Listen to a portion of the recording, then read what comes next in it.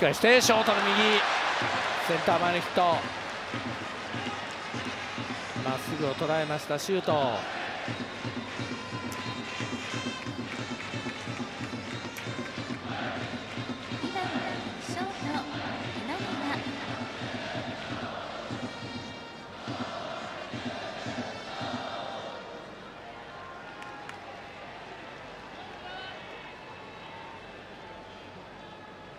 ッチングになるんじゃないかと思いますがノーアウト一塁。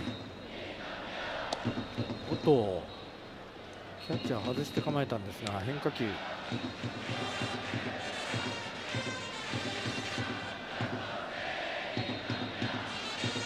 ランナースタート。投球はボール。盗塁成功です。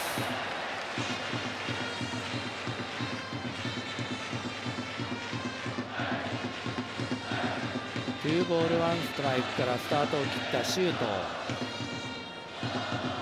二塁盗塁成功。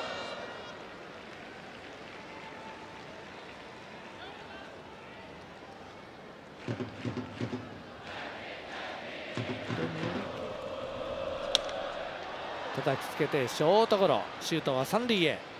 森から一塁に送られてワンアウトワンアウトランナー三塁。入り方ができたと思うと、まあ、三者凡退でしたからね。これは右中間。レビアの左に打球は落ちました。三塁ランナーゆっくりホームイン。打った栗原二塁へツーベース。まあホームラン下位に打たれたホームランはうまく打たれたので切り替えて根気強く一球一球丁寧に投げていってほしいというコメントでした。